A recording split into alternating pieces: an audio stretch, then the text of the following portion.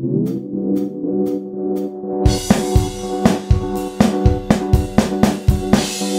everyone, this is Viren and welcome back to my YouTube channel for another marketing tutorial. In this video, we are going to discuss how to create content groups in Google Analytics. Now let's say you have a group of content on your website. Let's take an example here and visit my site virenbaid.com. Now as you would notice in my website there are different there are different categories like Facebook, LinkedIn, Snapchat, there's analytics and things like that. Now what if I want to see Google Analytic metrics for just my Facebook content and I don't want to see Snapchat or analytics or maybe I just want to see metrics for just analytics. What do I do? Now one thing to keep in mind here is that most of my Facebook articles when you click on them are going to have the word Facebook on the link so that's a pattern that we can probably use. Now I'll show you how to create these content groups on Google Analytics. Once you're logged in into your portal, you need to click on admin.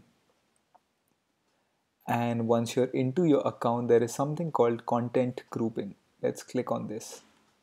As of now, I have no groups of content. Let me start by creating one and I will call this Facebook content. Now there are three ways to actually create groups of content. One is by a tracking code.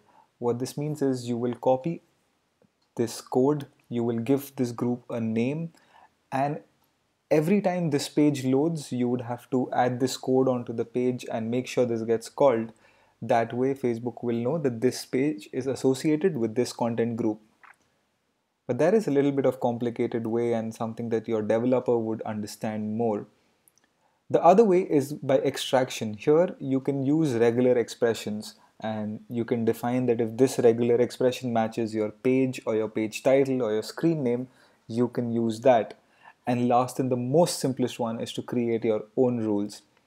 Here when you select page and say the page contains Facebook. So these are all my pages that contain Facebook on them. And I once that's done, this group will now pick up all pages where the link contains the word Facebook and I click on done. Sorry, I have to give this a name.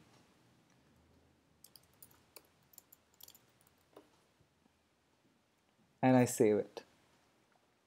That's it. The content group is now ready and it will start accumulating data. One thing you need to know is that this group stores no historical data. So only from this point forward, it will start saving data. Now let me show you how you go about checking metrics for this group. Now let's say I want to see my behavior reports for some landing pages. Now once I'm here, you will see right beside the primary dimension there's now something called content grouping. This was not there before and you can just select this and choose Facebook content there is no data available right now and everything is tagged as not set because this is historical data and once people start visiting my Facebook pages now the data here will start populating. And that's about it for this tutorial. I hope I was able to teach you something new and add value to you. If I did, please hit the thumbs up button, comment and let me know and subscribe to my channel for more marketing content. If you're looking to have a one-on-one session with me, the best way to reach me is through Instagram. The link is right here. Thank you.